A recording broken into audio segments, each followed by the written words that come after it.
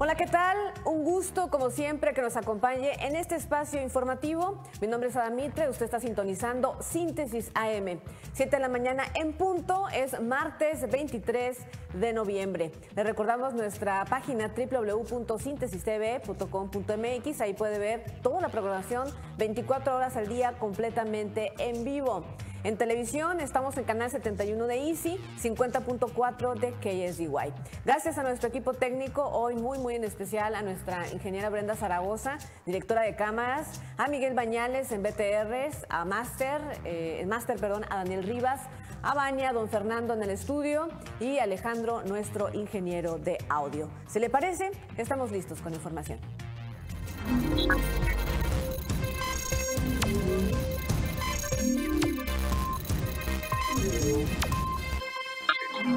Arranca vacunación de jóvenes de 15 y 17 años en Cecite, Mexicali. Investigan a personal que atendía a menores en el albergue del DIF Tijuana por abuso y malos tratos. Enviaron a la fosa común 50 de los 160 cuerpos que mantenían, eh, mantenía la CEREFO en una caja de tráiler. Personal de salud sigue con su trabajo a pesar de la pandemia, aunque requiere de mucho sacrificio. Implicaciones de la expansión de la nueva ruta de la seda digital en América Latina. Ese será el tema del que hablaremos el día de hoy en Síntesis AM.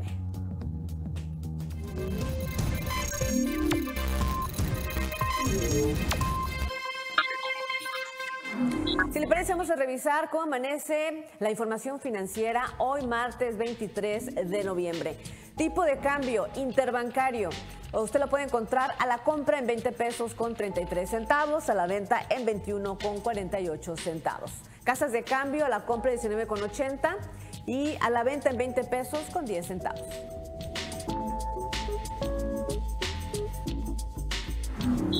Vamos ahora directo a la información. La jornada de vacunación es para jóvenes de 15 y 17 años en Baja California y no es exclusiva para estudiantes. Este lunes arrancó oficialmente en Baja California la campaña de vacunación contra COVID-19 para jóvenes de 12 y 17 años de edad. Se habilitó en la capital del estado un centro de vacunación en el plantel Xochimilco de Cecite. Sin embargo, solo se vacunó a estudiantes de tres planteles, Xochimilco, Compuertas y Bellavista.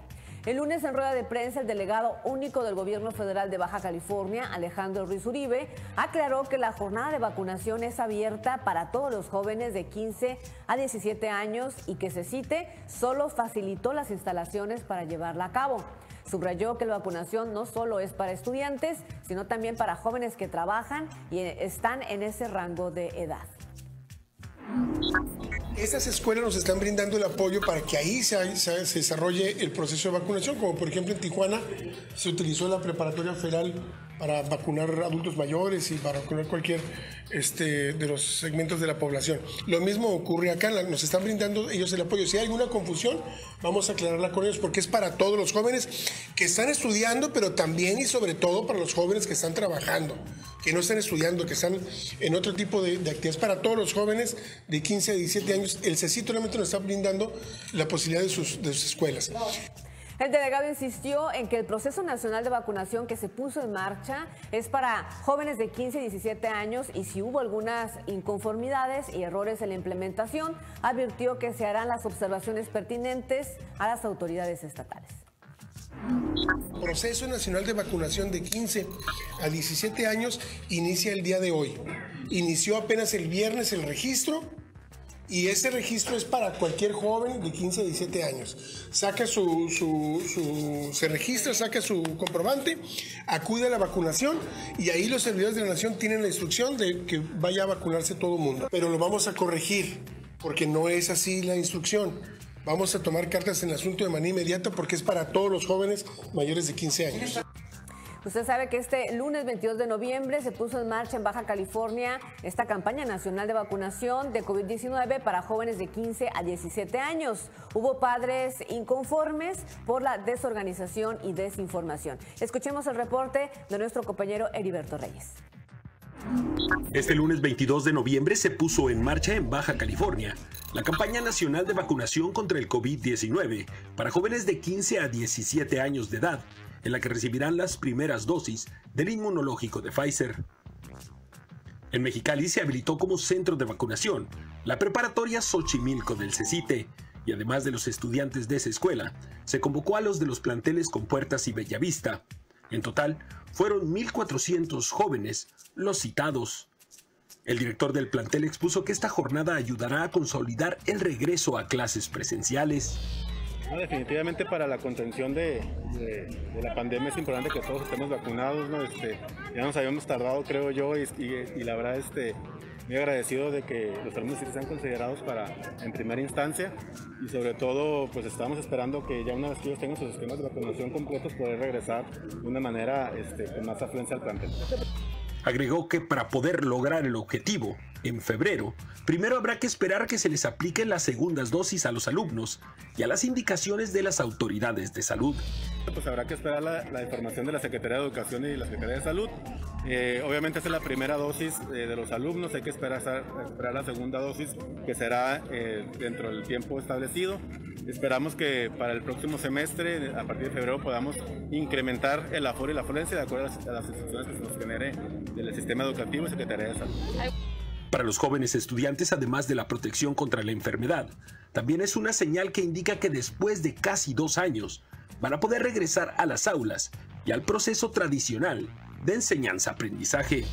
Sí, mi mamá tuvo COVID en marzo y le dio a ella y a su pareja, pero a nosotros no nos dio, a mí y a mis hermanos no nos dio. Pues yo creo que sí, ya nos ayuda más en el tema de, del contagio.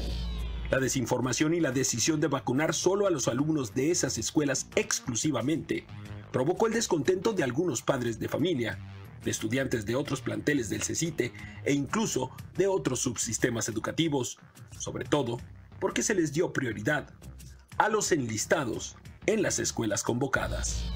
imagínate, pérdida de tiempo de trabajo, gasolina, y llego aquí, dice la subdirectora, no, van a ser los puros planteles de aquí, de, la localidad. Si alcanzan ustedes, bueno, oye, pero ¿cómo? O sea, los niños están registrados, eso es un derecho por sector salud que nos está autorizando ellos. O sea, no es del sindicato de maestros, no es de hijo de Juana, que Chana, de la mona, no. Todos vamos a ser parejos. Yo no me muevo de aquí hasta que vacunen a mi hijo. En Mexicali con edición de Fernanda Mesa, reportó Heriberto Reyes.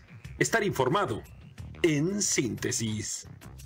Esto es lo que sucedió en la capital del estado el día de ayer, el lunes. En otros temas, es una vergüenza ver cómo estaba operando el DIF en el estado. Fueron declaraciones de la gobernadora de Baja California, Marina del Pilar.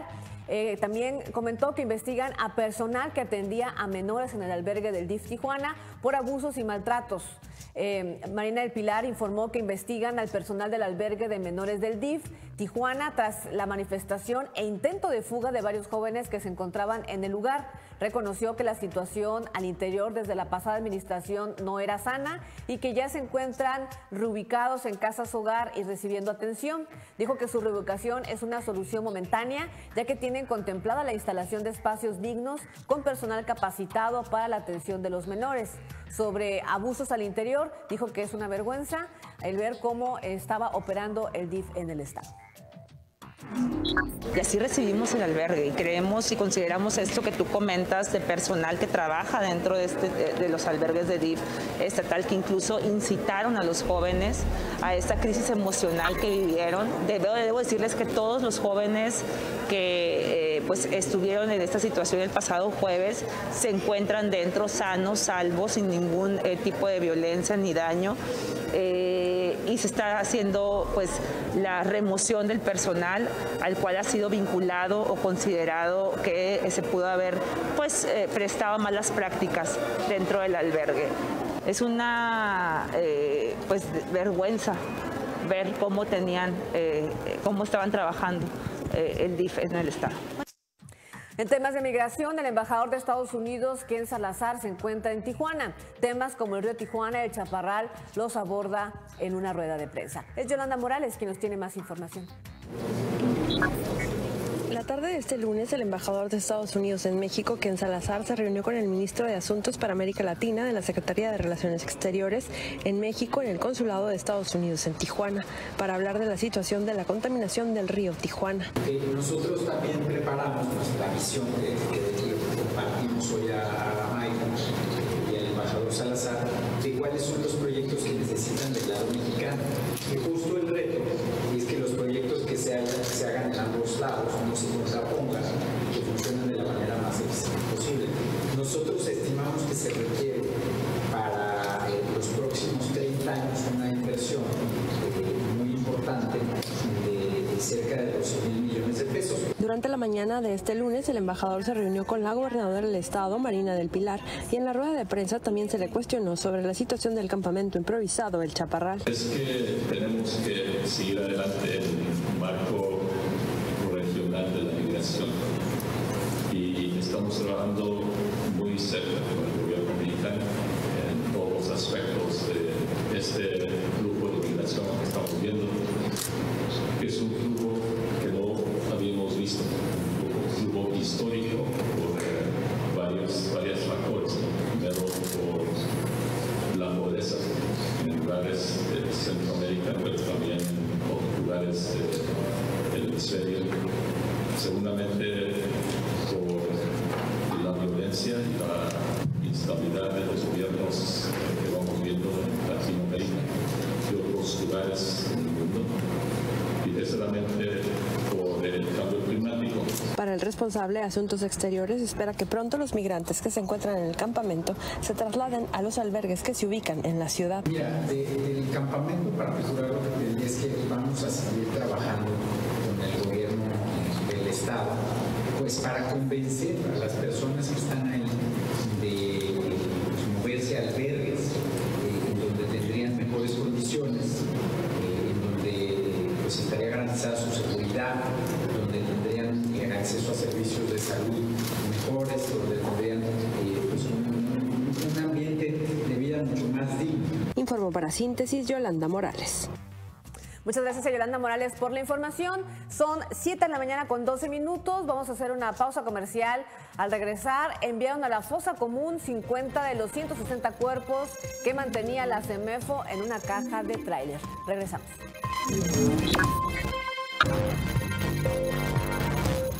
California ponemos el corazón por delante. Aquí somos perseverantes, trabajadores y nuestras manos crean esperanza.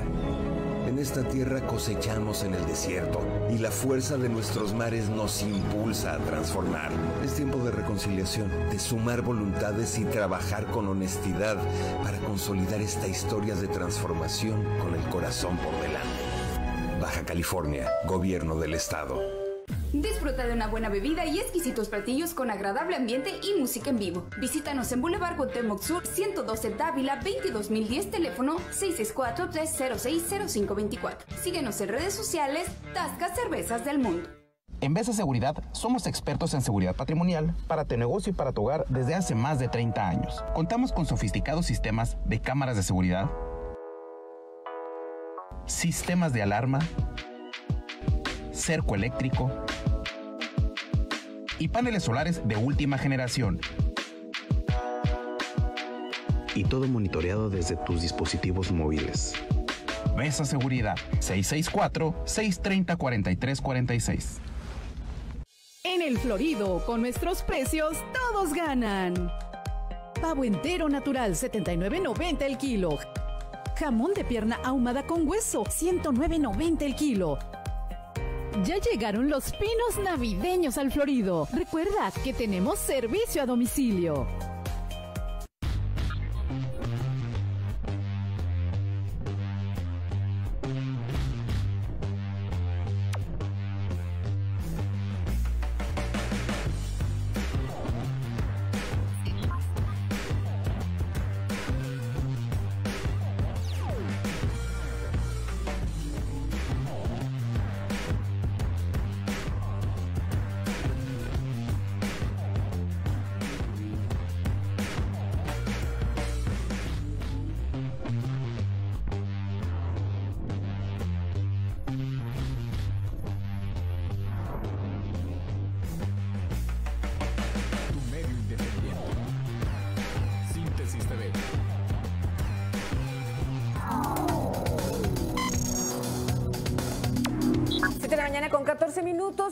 Cruzar a la Unión Americana. Le tenemos el reporte de Garitas con Marisol Parra. Marisol, buenos días. Adelante, por favor. Hola, muy buenos días. Comenzamos con la garita de San Isidro, que cuenta con 21 puertas abiertas, 200 autos en carriles izquierdos, 530 en Rory Lane, 185 en línea Sentry y 550 en el cruce peatonal. En la garita de Otay cuenta con 8 puertas abiertas, 230 autos en carriles normales, 430 en Rory Lane, 140 en línea Sentry y 380 en cruce peatonal. Estás en síntesis AM.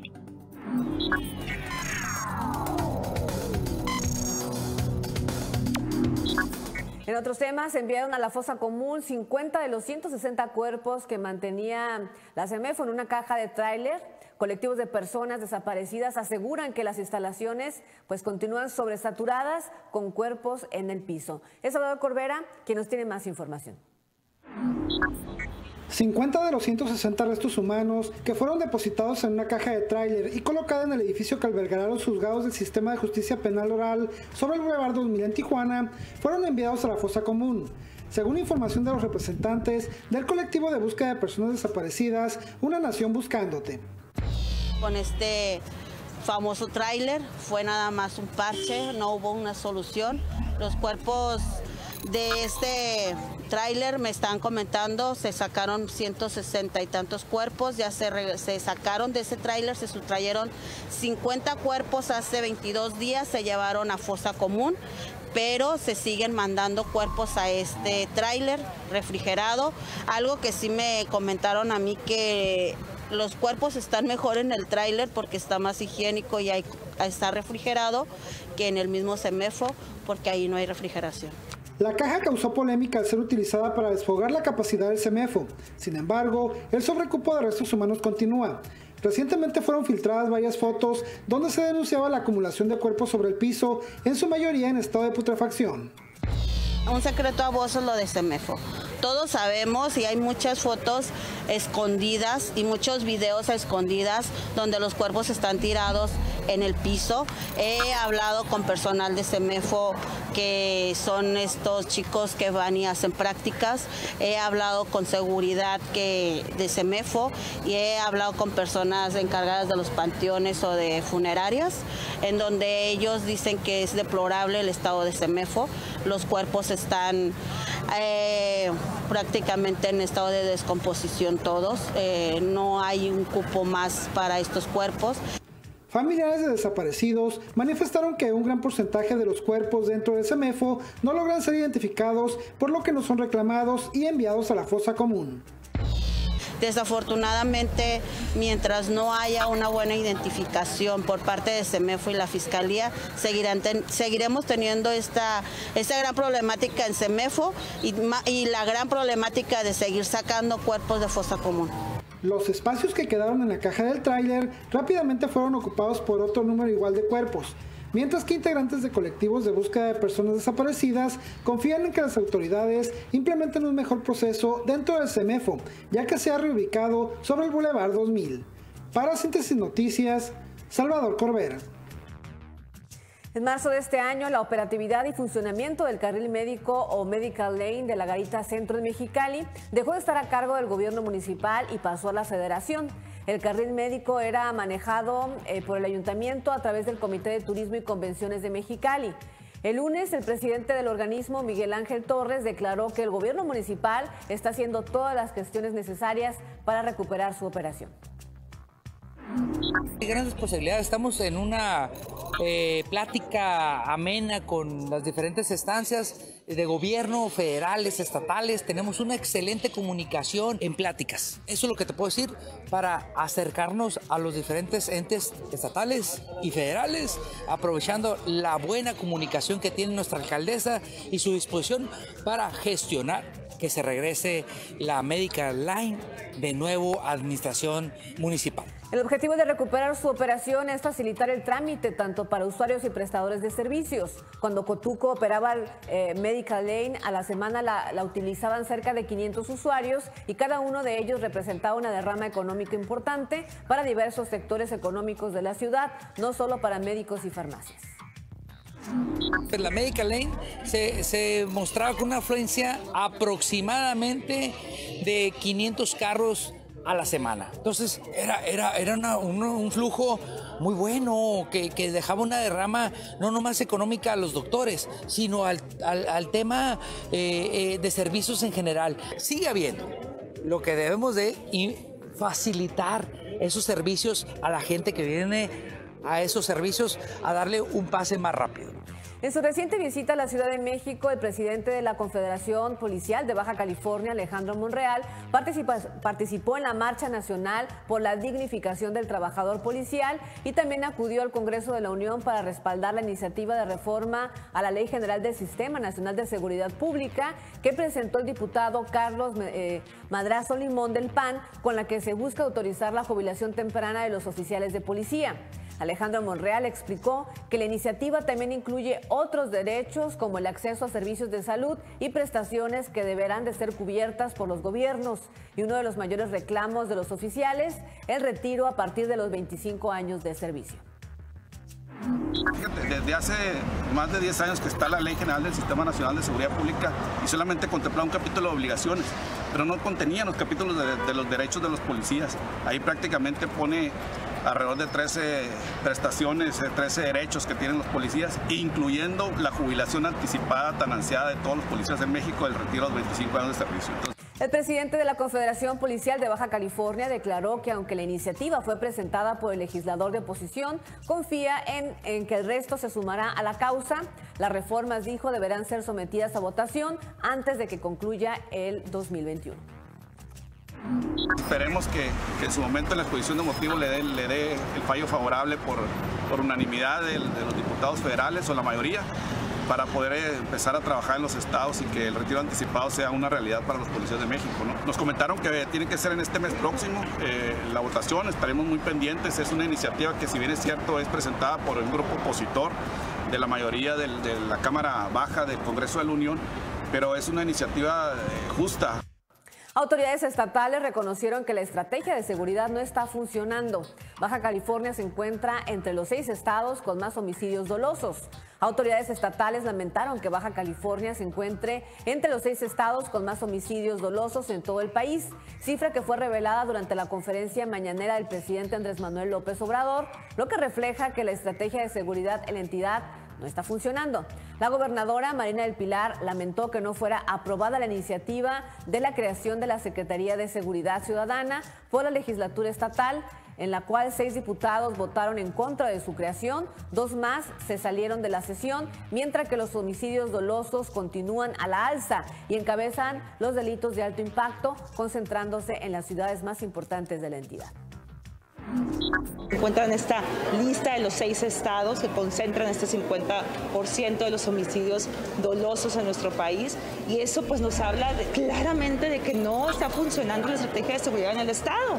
Y no podemos nada más eh, no hacer nada al respecto, tenemos que seguir buscando mejorar eh, pues bueno, yo desconozco porque tampoco argumentaron una razón por la cual votaron en contra de una iniciativa de seguridad. Que vayan y se lo digan a los ciudadanos a los cuales se supone que deben de representar. Hubo dos diputadas que se salieron de la sesión, incluso la presidenta de la Comisión de Seguridad. Es el tema más importante que iba a votar en la legislatura, la creación de la Secretaría de Seguridad Ciudadana. Yo no sé qué agenda más importante prioriza eh, la diputada o las diputadas al no estar presentes en una votación de tanta trascendencia para el bienestar de las familias de Baja California. La gobernadora del estado, Marina del Pilar Ávila, sostuvo el lunes encuentros con los embajadores de México, de Estados Unidos, Alemania y Francia para abordar asuntos relativos a la relación de estos países con nuestra entidad. En la reunión con el embajador de Estados Unidos, Ken Salazar, se abordaron asuntos sobre las oportunidades de inversión estadounidense que operan en el estado y que podrían crecer en los próximos meses, mientras que con los embajadores de Alemania y de Francia en México, Peter Temple y Jean Pierre eh, se planteó la viabilidad de Mexicali como un espacio ideal para la instalación de armadores de automóviles. Además, Marina del Pilar presidió el arranque del Foro Regional norte del Instituto Nacional de las Mujeres, en el que participaron titulares de organismos estatales de atención a las mujeres en el norte de México. En la ceremonia realizada en el Centro Cultural eh, Tijuana, la gobernadora resaltó la importancia de seguir apoyando a las mujeres, especialmente las que son víctimas de violencia de género. Vamos a hacer una pausa comercial, 7 de mañana con 24 minutos. Al regresar hablaremos sobre las implicaciones de la expansión de la nueva ruta de seda digital en América Latina.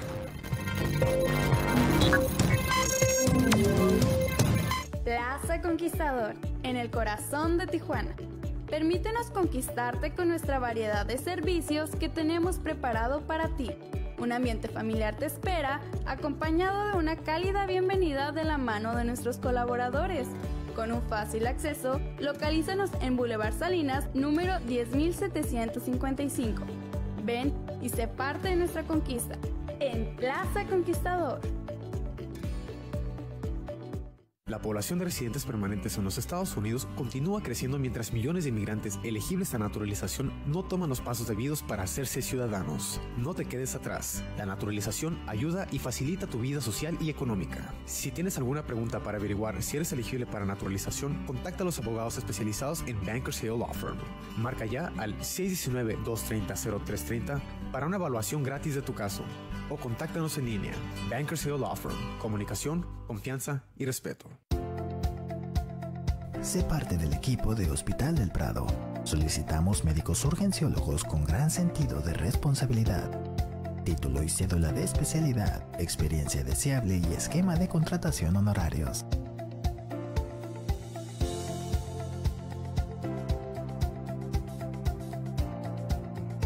Hospital del Prado.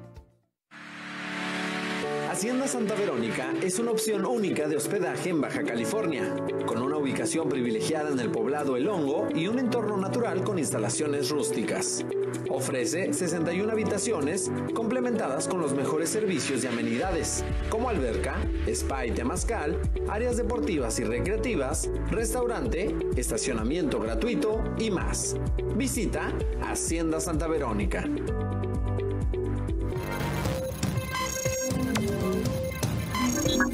Muchas gracias por seguir sintonizando Síntesis AM. Le comentábamos hace un momento que vamos a hablar sobre las implicaciones de la expansión de la nueva ruta de seda digital en América Latina. Y precisamente ya se encuentra vía videoconferencia desde la Ciudad de México la licenciada Leslie Olivares. Ella es egresada de Relaciones Internacionales y es vicepresidenta y cofundadora de la REGA. Licenciada, ¿cómo está? Muy buenos días. Buen día, un gusto estar en tu programa. Muchas gracias. Y bueno, a ver, licenciada, vamos a empezar con definiciones, ¿no? ¿Qué se entiende como esta nueva ruta de la seda digital, ¿no? Y, cómo o qué implicaciones tiene para América Latina.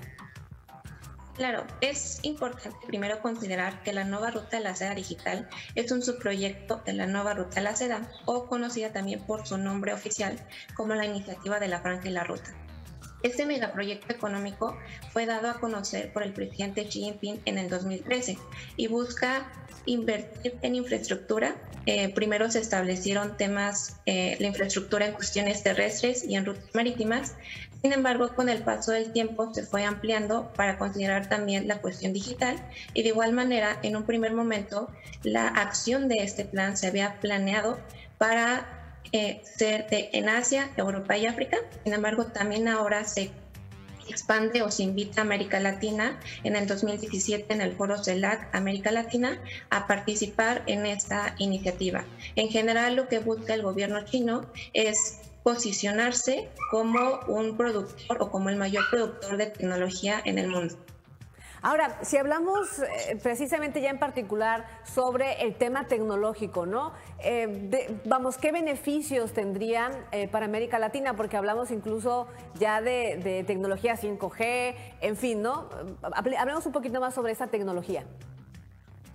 Claro, el beneficio sería es que América Latina desafortunadamente, una disculpa por el ruido exterior, desafortunadamente no es líder ni, ni, desarrolla tecnología. Eh, en el 2019 el líder o el que tuvo una mayor relevancia en América Latina fue China, fue Chile, una disculpa, y se encontró en el lugar 51. Entonces esto nos dice que hay una oportunidad muy, grande para cooperar con las compañías chinas que son líderes en, como usted mencionaba, en tecnología 5G, en inteligencia artificial, incluso en el comercio digital. Entonces, hay un amplio, eh, un, amplio eh, espacio en América Latina para que pudieran crearse alianzas con estas empresas. Eh, Leslie, ahora eh, me, imagino que, digo, estamos hablando de China, un, país reconocido precisamente por el desarrollo tecnológico. Eh, ¿Esto ha ocasionado enfrentamientos con países como, por ejemplo, Estados Unidos? Claro, podemos ver que incluso desde Donald Trump estableció una guerra comercial con, con, con, China, que esto también obviamente incluye las cuestiones tecnológicas. Vimos que se estaba tratando de frenar la expansión de Huawei con, en, en, su desarrollo de la tecnología 5G.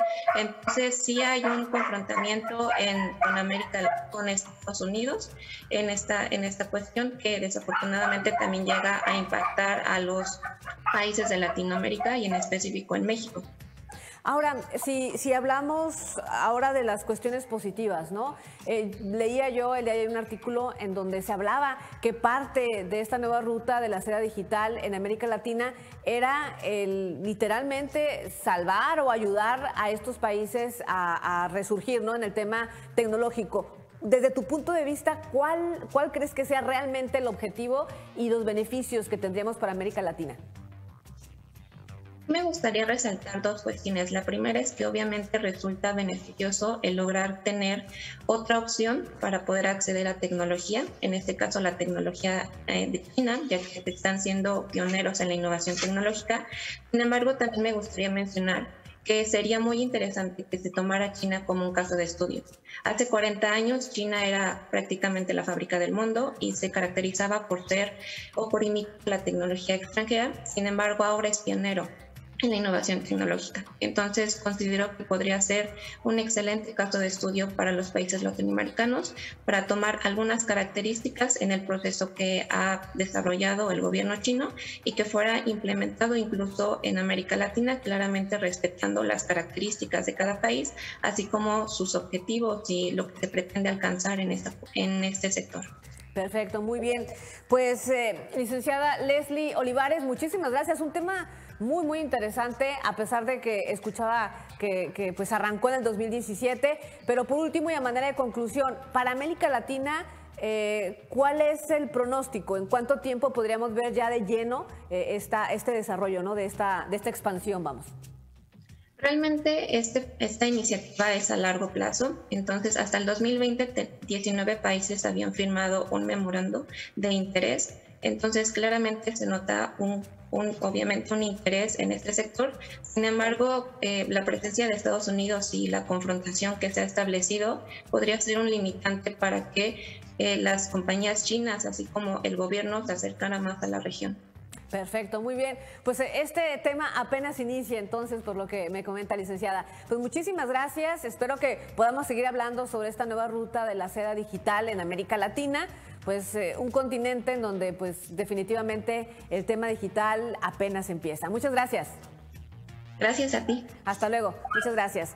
Eh, y mire, hablando ahora sobre otros temas, eh, temas de salud, personal de salud sigue en su trabajo a pesar de la pandemia y aunque requiere de mucho sacrificio, dicen sentirse muy satisfechos con su labor en beneficio de la población. Es un reportaje de nuestra compañera Ivonne Hernández.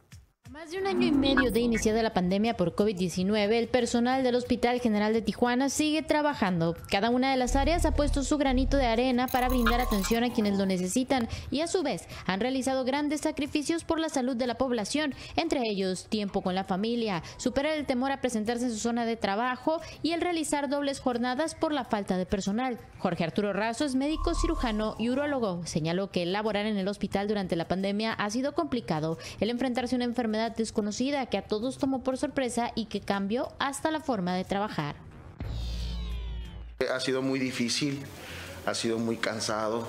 Muchos compañeros han decidido tirar la toalla en el camino. Aventaron la toalla porque se cansaron. Algunos se fueron del hospital por lo mismo. Y pues esta es una enfermedad que aún no, es una pandemia que aún no hemos vencido. Estamos viendo nuevamente a estas fechas una alza en los casos a pesar de que tenemos una vacuna. Seguimos viendo pacientes enfermos que siguen llegando al hospital eh, graves, aún estamos viendo pacientes fallecer por la enfermedad. Por su parte, en el banco de sangre, la experiencia de la pandemia también fue difícil, ya que de tener múltiples donadores disminuyó hasta un 50% el número de candidatos. Sumado a ello, tuvieron que salir de la institución, ya que la gente tenía miedo de acudir y contagiarse, señaló Jonathan García, laboratorista clínico. Pues llegar a la casa, pues el temor de de, los, de las personas, de los trabajadores, los compañeros que tienen familiares, pues ya por ejemplo sus papás que ya son de la tercera edad. Y pues el miedo de contagiar a algún familiar que pudiera estar como muy vulnerable a la enfermedad. Ha valido la pena, siento que, que eso es como algo muy bonito, pues el trabajar en pandemia y pues con lo que con el poco personal que había porque pues los resguardados y todo eso. Entonces sí, pienso que ha valido la pena el ayudar principalmente pues, a los pacientes. Víctor Manuel González, oficial de mantenimiento del hospital, dijo que al inicio se tornó algo estresante debido a que no sabían cómo afrontar la situación de la enfermedad, pero con el paso de los días tuvieron que modificar hasta sus hábitos de limpieza. Tuvimos que apoyar mucho al hospital porque como mucha gente de, nuestra área la mitad del personal se capacitó o se resguardó por ciertas situaciones y tuvimos que redoblar esfuerzos ya que pues falta de personal. Veníamos en guardias nocturnas, guardias de la tarde, en la mañana, sábados y domingos aquí subimos al pie del cañón. El personal señala que las jornadas han sido extenuantes, pero sus mayores satisfacciones al trabajar en esta pandemia son las muestras de apoyo por parte de la ciudadanía, asociaciones civiles que se suman a la causa y el ver cómo la gente se acerca para apoyar. Recomendaron a la población continuar con las medidas preventivas y no confiarse en ningún momento, ya que la pandemia sigue activa que se pongan su cubreboca bien, tomen su sana distancia y pues en pues seguir la misma rutina desde que se inició, a pesar de que ahorita ya está un poco más calmado, por así decirlo.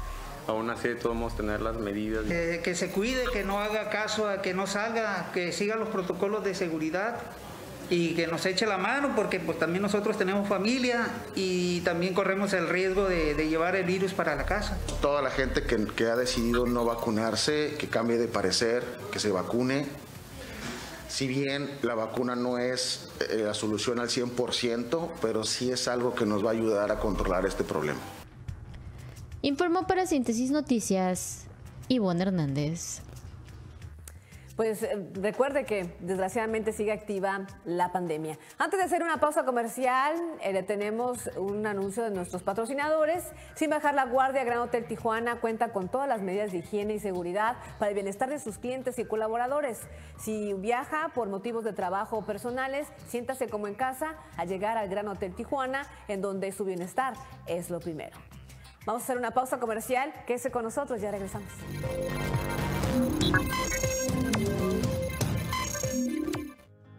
Grand Hotel Tijuana, seguridad que da tranquilidad. En Grand Hotel Tijuana, nuestro compromiso es ofrecer que nuestros estándares de sanitización e higiene te permitan salvaguardar a ti y a los tuyos en tu próxima visita. Es por ello que seguimos reforzando nuestros estándares de limpieza e higiene en todas las áreas del hotel y Plaza Agua Caliente, basadas en las recomendaciones de las autoridades de salud estatales. Seguimos con limpieza continua en áreas comunes, con el compromiso de continuar cumpliendo con lineamientos de protección, reforzando la limpieza con productos desinfectantes certificados, siempre con el objetivo de cuidar la salud de nuestros huéspedes, visitantes y colaboradores. Es de todo nuestro interés que tus eventos sean a lo grande y que cumplan con los lineamientos de sana distancia realizamos para ti la nueva distribución con las capacidades en nuestros salones que tendrán la facultad de que tus eventos se realicen sin complicaciones. Te invitamos a planear por completo con nuestra área especializada en banquetes. En nuestros restaurantes continuamos con una limpieza profunda y esterilización en nuestras cocinas, siguiendo los protocolos de higiene para brindarte siempre la calidad que se distingue en nuestros alimentos. Nos vemos pronto en Grand Hotel Tijuana. Sé parte del equipo de Hospital del Prado.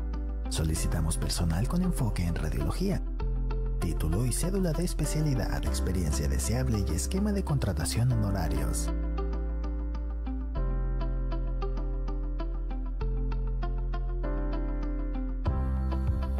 Hospital del Prado. Muchísimas gracias por seguirse informando en Síntesis AM. Ahora, si le parece, vamos a escuchar un resumen de lo que ha sucedido en México y el mundo.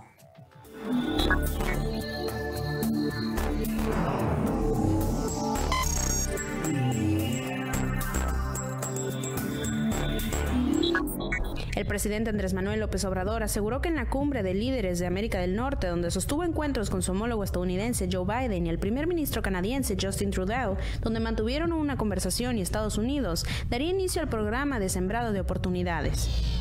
El gobierno de México encabezó en las instalaciones del Consejo de Seguridad de la ONU un debate sobre el tráfico ilegal de armas. Durante el debate, Marcelo Ebrard destacó que el tráfico de armas pequeñas y ligeras es una amenaza a la paz, por lo que urgió a que los gobiernos junto al sector privado trabajen de manera conjunta. Este lunes se llevó a cabo una audiencia inicial en Puebla, después de que el gobernador Luis Miguel Barboa señaló que los elementos de la policía ministerial habían sido ejecutados por autoridades municipales de Tecamachalco. Al menos cinco personas murieron y unas 40 resultaron heridas después de que una camioneta atravesara un desfile navideño que se estaba celebrando en la ciudad estadounidense de Waukesha, estado de Wisconsin. La Comisión Electoral Central de Bulgaria ha confirmado el triunfo del presidente Rumen Radev en la segunda vuelta de las presidenciales celebradas este domingo con un 66.7% de los votos. Se posiciona como el nuevo mandatario. En Afganistán se ha emitido una nueva norma por medio de los talibanes. Dicta que las mujeres no pueden participar en producciones televisivas. En caso de hacerlo, necesitarán portar un pañuelo para identificarlas, de manera que se ha prohibido películas que se opongan a las normas islámicas.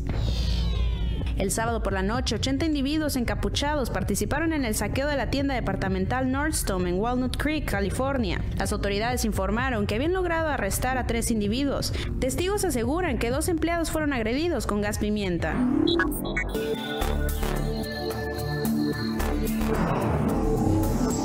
Esas son las noticias más relevantes que han sucedido. En otros temas, Despierta la Esperanza es el nombre elegido para los informes que la presidenta municipal Monserrat Caballero inició a partir de este lunes junto a su gabinete para dar a conocer las acciones del Ayuntamiento de Tijuana. Muy al estilo de la tradicional mañanera que encabeza Andrés Manuel López Obrador, será los lunes, miércoles y viernes cuando se pueda seguir las transmisiones en vivo a través de la página oficial de Facebook del Ayuntamiento. Despierta la esperanza. Estamos iniciando hoy lunes 22 de noviembre, un lunes tranquilo aparentemente, un lunes con un clima agradable. Estamos iniciando este espacio, este espacio que se llama Despierta la Esperanza. Como buenos tijuanenses empezamos una tempranera, una cuestión donde tú tijuanense, donde tú ciudadano tienes un espacio para expresarte. Mis secretarios, en compañía de su servidora, la presidenta municipal Montserrat Caballero, vamos a informarte a ti, a ti tijuanense, las principales acciones de este vigésimo cuarto ayuntamiento y también atenderemos tus dudas, tus dudas los lunes, miércoles y viernes. Durante la primera emisión, Caballero Ramírez inició con el, el, reporte de seguridad en el que informó el registro de 130 homicidios durante el mes de octubre. De acuerdo a las estadísticas mensuales, la cifra más baja en los últimos tres años. Asimismo, agradeció la paciencia de la ciudadanía ante la implementación de la nueva ruta para ingresar a playas de Tijuana por la vía rápida rumbo a la garita de San Isidro proyecto que busca una mejor y eficiente circulación, así como evitar la presencia de gaviotones. Durante las conferencias matutinas habrá un espacio para preguntas y respuestas que se generarán a través del chat de las redes sociales del ayuntamiento. En su intervención, el secretario de Seguridad y Protección Ciudadana Municipal, Fernando Sánchez, señaló que 200 elementos se incorporaron a sus funciones para ampliar la cantidad de elementos en las calles, ya que estos se encontraban realizando funciones administrativas o como elementos de protección informar las acciones que se han venido realizando eh, en este mes y 22 días de responsabilidad en el tema de la seguridad. En el eje estratégico del combate al delito, eh, lo primero que hicimos fue reorganizar y reestructurar a la corporación.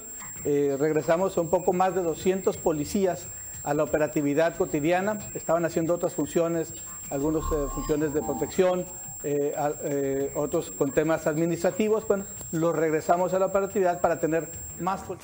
Mire, ahora si le parece, vamos a nuestra sección Consulta en Casa. Como todos los martes, los médicos especialistas del Hospital del Prado dan respuesta a todas sus dudas.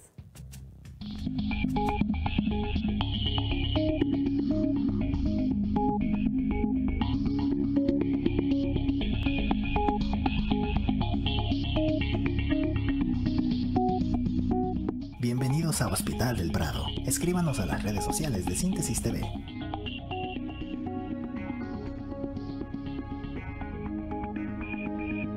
Bueno, el virus del papiloma humano, eh, o como lo conocemos VPH, es un virus de eh, transmisión sexual en la mayoría de los casos. Este se puede prevenir protegiéndonos a la hora del coito, sea este, eh, con condón de late. Una asociación entre problemas cardíacos y este, lo que es la microbiota orofaringea, sobre todo con, cuando hay infecciones, por la vascularidad este, grande que hay dentro de la, de la cavidad este, oral. Pueden pasar bacterias de la boca al torrente sanguíneo y llegar al corazón y generar algo que se llaman vegetaciones que pueden llegar a causar problemas cardíacos.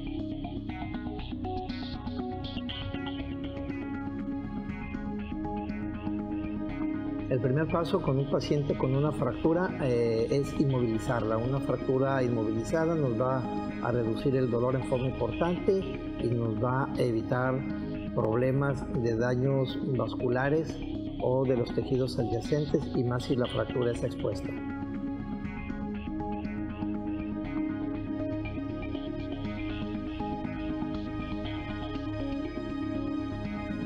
Si yo tengo un familiar este, con alta presión, por ejemplo, pudiera ser mi madre, mi padre o alguien cercano a mí, este, yo para prevenirle que se me vaya a complicar por, ese tipo de enfermedad, o sea, las complicaciones principales de una hipertensión, pues nos puede dar un accidente vascular cerebral, nos puede dar un infarto, nos puede dar problemas, principalmente este, los órganos blancos, puede ser el ojo, puede ser el riñón, este, corazón o el cerebro.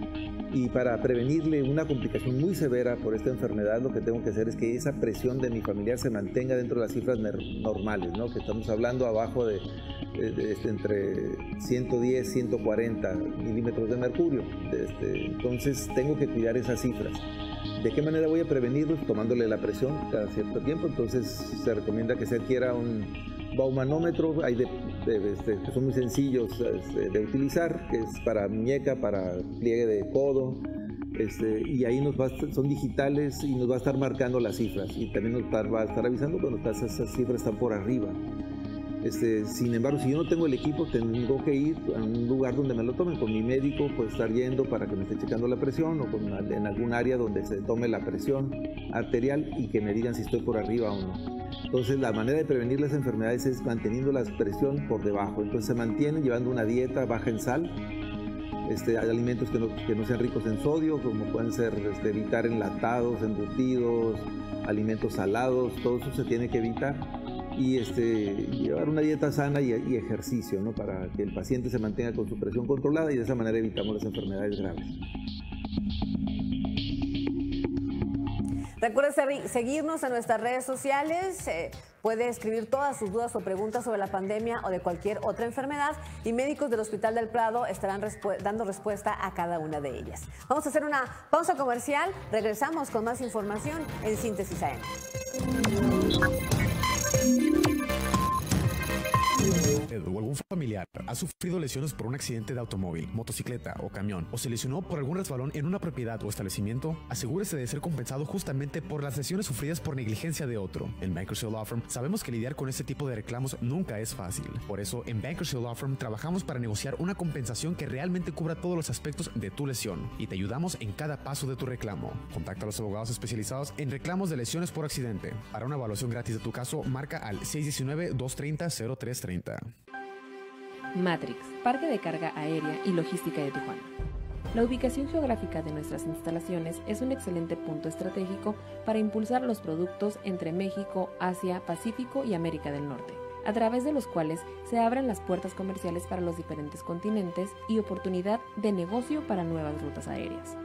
Matrix es el primero y actualmente recinto fiscalizado en la región y cuenta con los permisos y requerimientos necesarios para operar eficientemente. La puerta de México y Latinoamérica a Asia-Pacífico.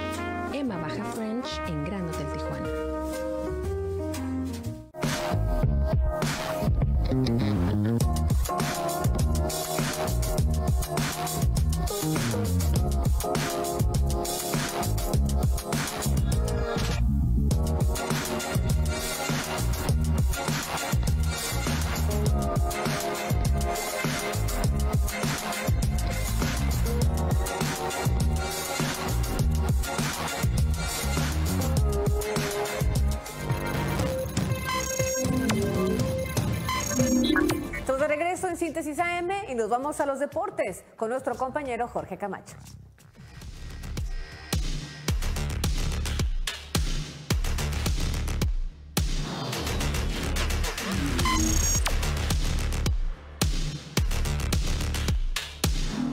Alejandro, gracias por tu tiempo y estuviste en otra campaña Liga Mayorista después de haber logrado primer hit, primer cuadrangular. ¿Cómo puedes resumir este 2021 con el equipo de Blue Jays que está en una plena transición? Bueno, pues un año muy bueno, desgraciadamente nos, nos quedamos a un juego. Fue una temporada muy buena para todos, de altas y bajas, pero bueno, se vio, se vio que, el equipo está, está muy bueno y, y fue un año, un año muy bonito para todos. Excelentes jugadores, muchos premios que hubo este año.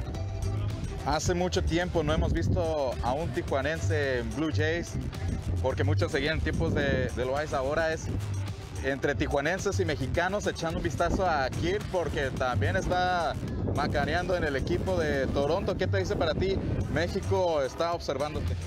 Bueno, pues se siente muy, se siente muy bonito, la verdad que, que he mirado más, más afición de aquí de Tijuana apoyando los Blue Jays y bueno, es algo que uno siempre soñó, ¿no? Estar allá arriba y se está cumpliendo ese sueño.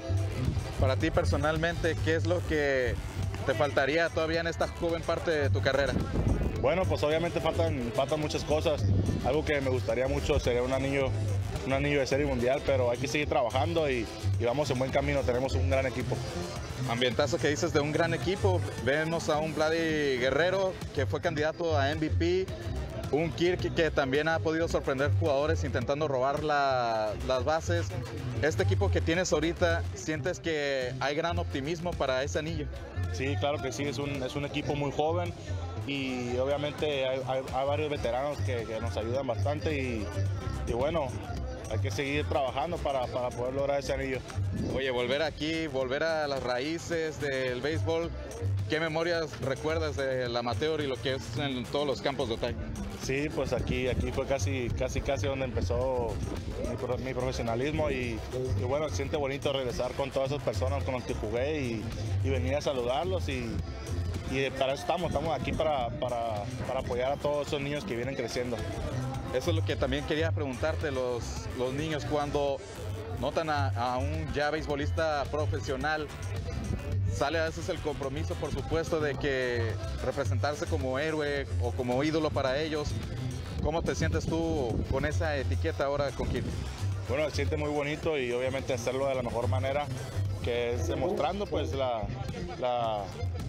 todo lo bueno que, que he venido pues saliendo aquí ¿no? de, de la liga y todo eso y se siente, se siente muy bien ver a los niños que, que me apoyan y me siguen.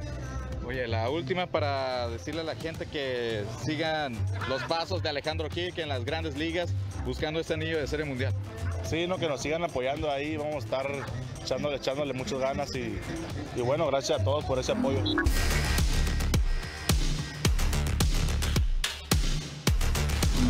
Muchas gracias a Jorge Camacho por esta entrevista. Y ahora, si le parece, para que usted haga sus planes, vamos a escuchar el pronóstico del tiempo.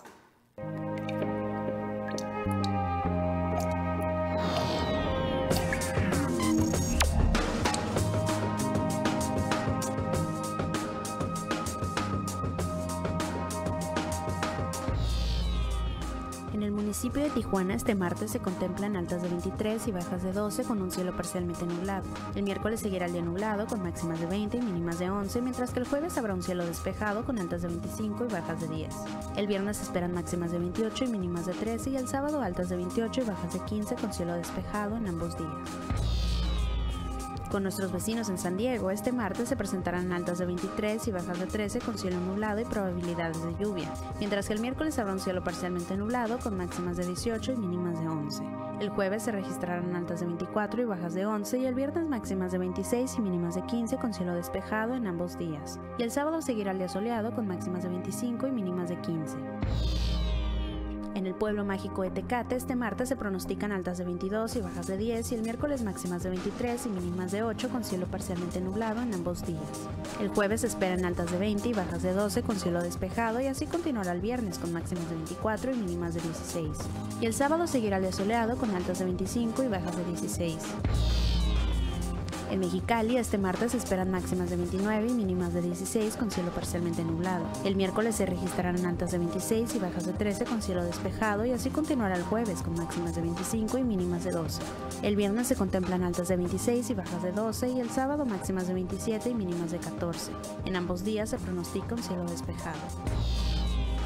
En playas de Rosarito, este martes se registrarán altas de 19 y bajas de 14 con cielo parcialmente nublado. El miércoles se contemplan altas de 18 y bajas de 13 con cielo nublado, mientras que el jueves habrá un cielo despejado con máximas de 23 y mínimas de 15. Y el viernes seguirá el soleado con altas de 25 y bajas de 18 y el sábado máximas de 24 y mínimas de 18. Y finalmente en el puerto de Ensenada este martes se espera un día lluvioso con máximas de 23 y mínimas de 13, mientras que el miércoles habrá un cielo nublado con altas de 18 y bajas de 11. El jueves se presentarán máximas de 24 y mínimas de 11 y el viernes altas de 26 y bajas de 15 con cielo despejado en ambos días. Y el sábado seguirá el día soleado con máximas de 25 y mínimas de 15.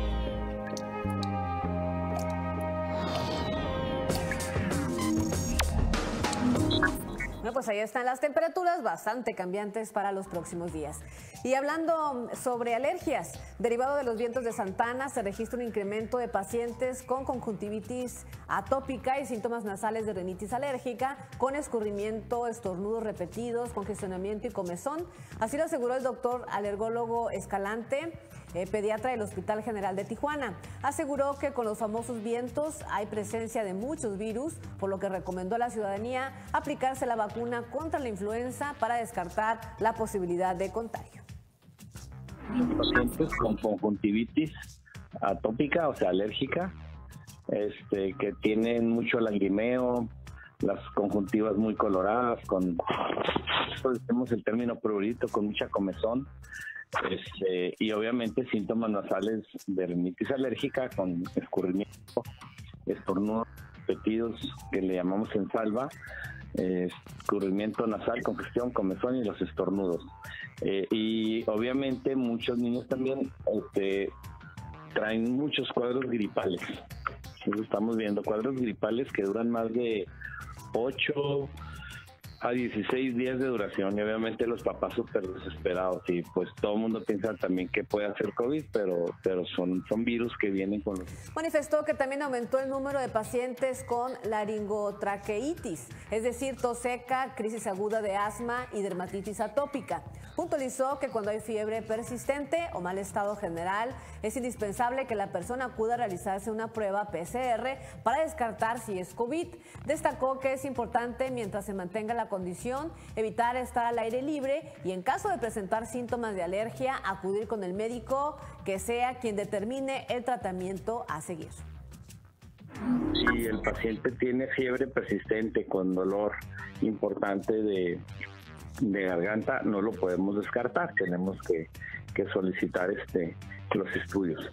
Aunque como te comento, también pueden ser virus o pueden ser bacterias agregadas a los cuadros respiratorios agudos que son de la temporada de otoño-invierno. Se empiezan con tos importante, eh, ataque al estado general, fiebre persistente. La condición Santana continuará a lo largo de la semana, por lo que es indispensable tomar precauciones. Y mire, antes de despedirnos, le recordamos que en síntesis contamos con nuestra sección Reportero Urbano, en donde puede enviarnos por mensaje fotografías o videos de sus denuncias ciudadanas. El equipo de síntesis lo estará apoyando, compartiendo la información en las redes sociales y por supuesto en televisión. Con esta invitación nos despedimos. Cuídense mucho, cuida a su familia. Lo vemos mañana en punto de las 7 a.m. Hola California se inicia ya a las 8.